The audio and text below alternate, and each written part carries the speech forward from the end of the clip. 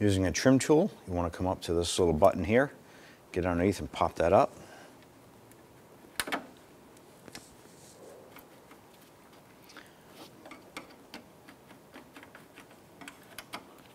Once that's up, go ahead and pry it out.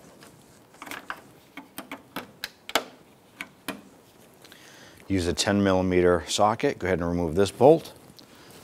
Once that's done, repeat for the other side.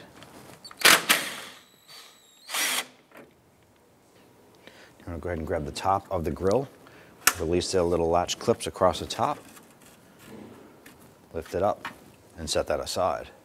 Across the bottom of the bumper, you're gonna find a series of these plastic clips or push pins. You wanna go ahead and use your trim tool You want to get the center of these to pop out. Across the bottom of the bumper, you're going to find a series of these uh, push pin lock clips. Going to use a trim tool. You want to get underneath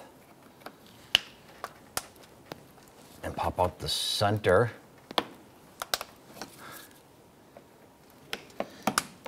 Once the center pin is loose, we'll be able to go ahead and push the whole unit right out.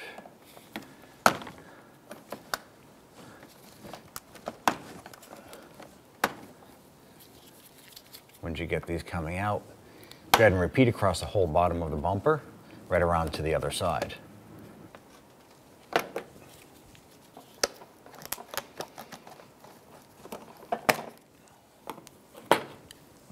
All right, now what you want to do is reach in behind the side of the bumper and gently tug away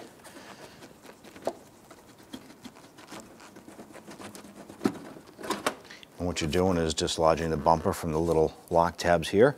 Work this out and then repeat for the passenger side. Go ahead and grab the bumper.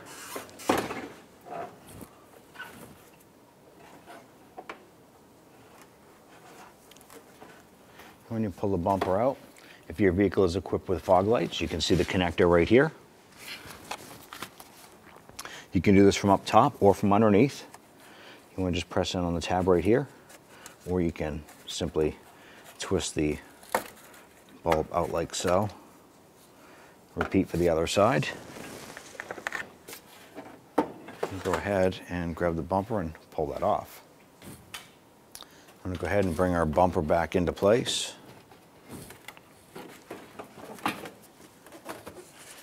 Grab our fog light,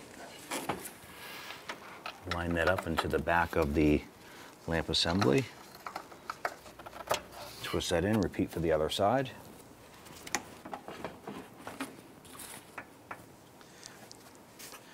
I'm going to bring that bumper up and into the notch underneath the headlamp. Do the same on the driver's side.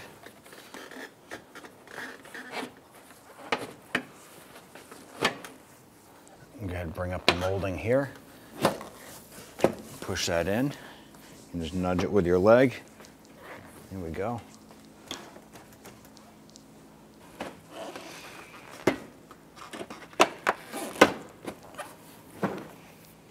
ahead and put in some of our locks here. reinstall all these plastic push pins and do this on the passenger side and then continue across the front and finish up on the driver's side.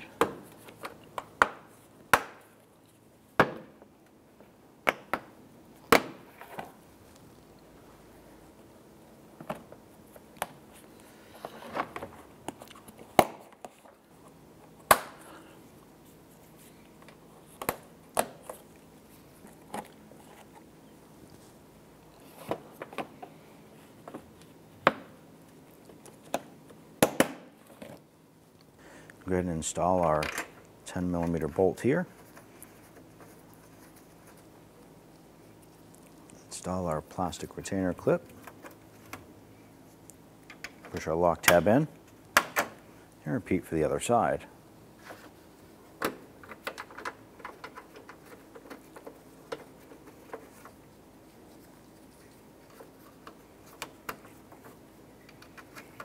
Go ahead and tighten down the bolts.